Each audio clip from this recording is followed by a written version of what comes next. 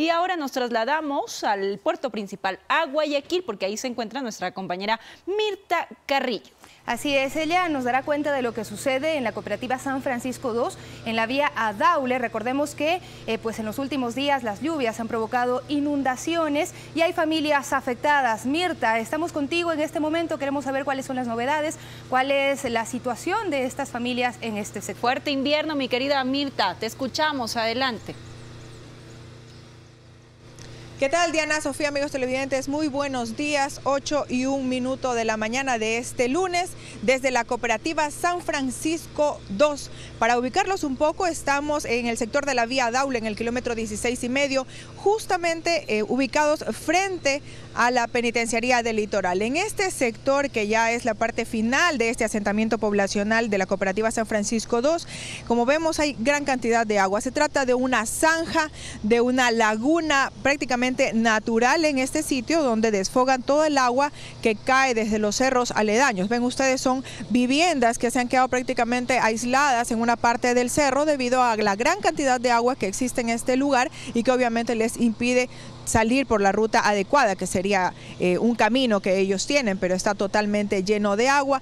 Y también esta acumulación se debe a que los desfogues naturales están ya más bien taponados eh, por los asentamientos, por las viviendas que se han ubicado en este sitio y también por la acumulación de basura, lo que es la inadecuada eh, acumulación de, de, desechos. Tenemos una de las moradoras de este sector que ya ha venido caminando ya algún tramo y podemos conversar con la señora Marixa Barres, quien se dirige a su jornada de trabajo, pero que esta situación también la preocupa, también la afecta porque vive muy cerca y tiene niños. Cuéntenos de qué manera a usted le está afectando esta acumulación de agua. Bueno, este, buenos días, gracias por venir aquí a este sector.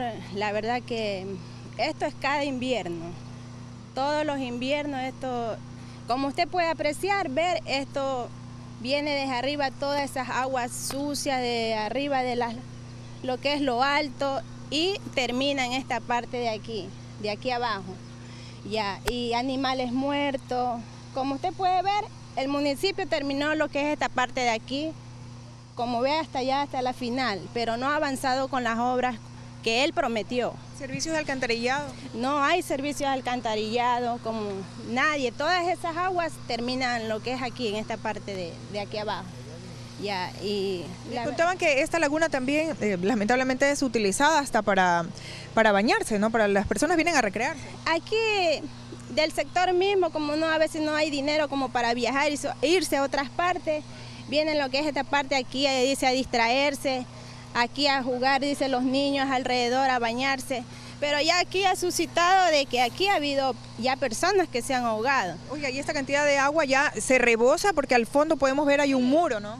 Sí, para el invierno esto se rebosa, desborda hasta las calles y, de verdad que esto debería haber una ayuda aquí para que esto llegue a un final, algo saludable para nosotros lo del sector que vivimos aquí, en esta parte. Muchísimas gracias, doña Marixa. Le decíamos que tenga una buena jornada de, de trabajo este, y precisamente lo que ella decía cuando cuando llueve demasiado, eso ya acá se desborda. Según los datos del INAMI, del Instituto Meteorológico, indica que acá en la ciudad de Guayaquil las lluvias que se han registrado del 1 al 17 de febrero, febrero, es decir, hasta el día sábado, ya han superado el promedio previsto que se tenía para todo el mes.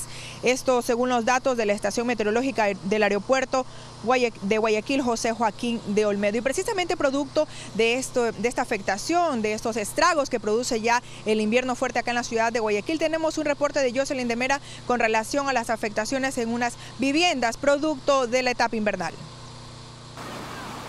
Quienes viven en la cooperativa San Francisco II, ubicada en el noroeste de Guayaquil, dicen estar acostumbrados a las molestias que trae consigo la época lluviosa. Que se llena de agua y el agua me da a la barriga. Ya, y aquí se mojan toditos las cosas de mi papá. Ya no es novedad, pues cada año padecen lo mismo. Calles totalmente anegadas, viviendas inundadas, enseres dañados y hasta enfermedades propias de la época se mete la casa, se mete en la parte de allá. Y esto no es nada todavía, desde que comienza la lluvia más. Ya mi casa, ya por tres ocasiones se ha querido caer y he tenido que vuelta a construirla. Les preocupa, pues las casas no son las únicas que sufren los estragos de las precipitaciones. carro de mi vecino también tuvimos que sacarlo porque se le estaba yendo. No que el agua había pasado por la calle de allá. Piden a las autoridades atención urgente, pues temen por la salud de sus familiares. Jocelyn de Mera, Telediario. Compañeras, en nuestra próxima salida tendremos más testimonios de quienes habitan en esta zona. En la cooperativa San Francisco II, en estos momentos afectada por la acumulación de agua en esta laguna, producto del fuerte invierno. Más adelante les contamos más de lo que aquí ocurre.